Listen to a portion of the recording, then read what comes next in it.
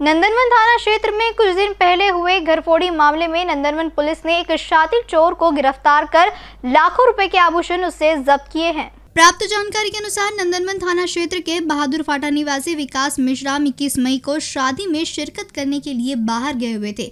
जब वे दूसरे दिन घर पहुँचे तो घर का ताला टूटा दिखाई दिया।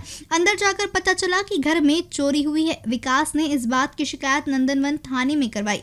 इस मामले की जाँच करते हुए पुलिस ने गुप्त जानकारी पर चेतन बुर्डे नामक आरोपी को गिरफ़्तार किया। आरोपी से कड़ी पूछताछ करने पर चार घरफोड़ी के मामले सामने आए हैं।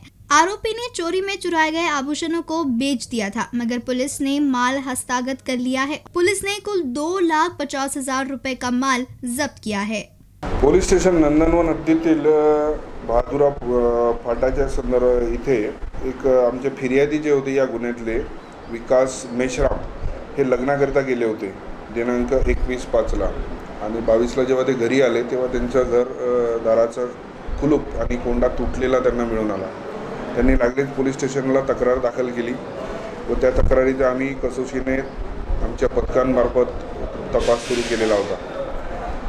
आमच्या पथकाला जी गोपनीय आणि विश्वसनीय बातमीदारांकडून काही माहिती प्राप्त झाली त्यानुसार आम्ही एक आरोपी चेतन मनोज कुर्डे याला शोध घेऊन अटक करण्यात आली.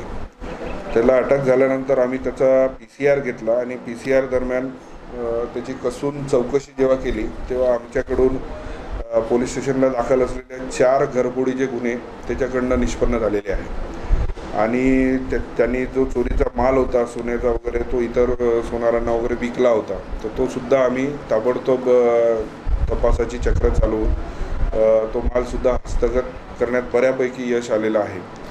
जवळपास एकूण दोन लाख पन्नास हजार रुपयांचा मुद्देमाल आम्ही त्याच्या ताब्यातून म्हणजे त्या तपासात निष्पन्न केलेला आहे. तर या आरोपीचा आम्ही पी सी आर घेतलेला आहे आणि इतर आणखी पोलीस स्टेशनला कुठे त्यांनी गुन्हे वगैरे केलेले आहेत का या बाबतीत सुद्धा अधिक तपास चालू आहे. आणि शक्यता आहे अजून त्यांनी कुठे चोऱ्या केल्या असल्यास त्यासुद्धा उघड होतील.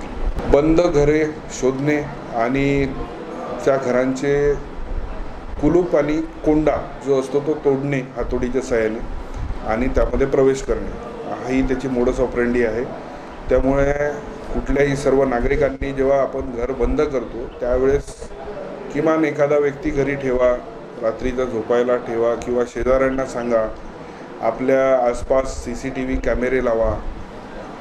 असं एकदम मोकळं घर सोडू नका असं नागरिकांना आमच्याकडून आवाहन आहे. इन न्यूज के लिए अखिलेश भारद्वाज के साथ अभिषेक पानसी की रिपोर्ट।